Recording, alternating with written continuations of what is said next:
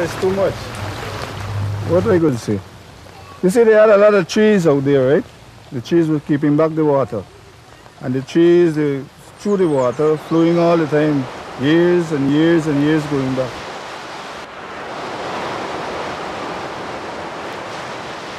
This beach is an old, is an old sick because every day the water progging and progging and progging and nobody to repair.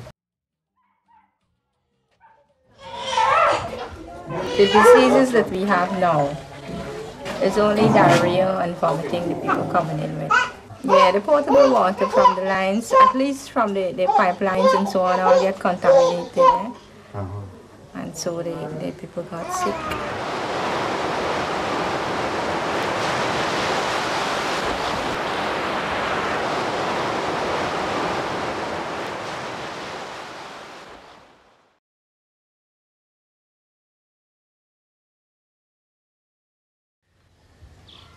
Miss Daglish, this may all be Greek to you, but I wish you could have seen those, those 50-foot drainage canals. Oh, they were perfect.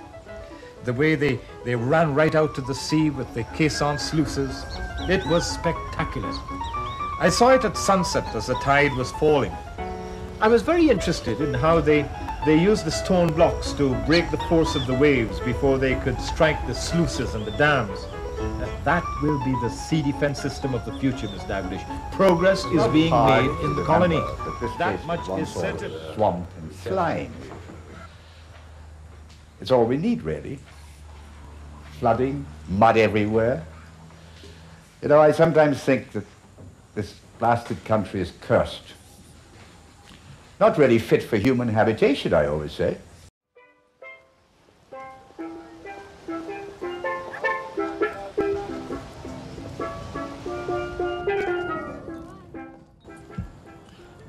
Until one day when a terrible thing happened. A terrible thing come to pass. Put a blight on the wall for years to come. No more preening and parading. Wall empty like graveyard, only er zombie walking. That was the day they discovered the body of a girl.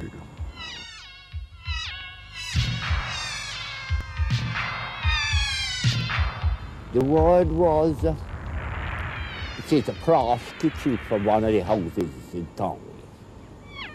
All cut up and battered up. Like piece of debris that the sea toss against the rocks and wash up onto the walls during the night.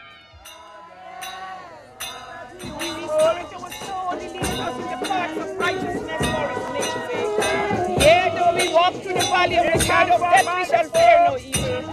For thou God is with us, thy rod and staff to comfort us. Thou preparest a table before us in the presence of our enemies. Thou anointest our head with oil, our cup runneth over.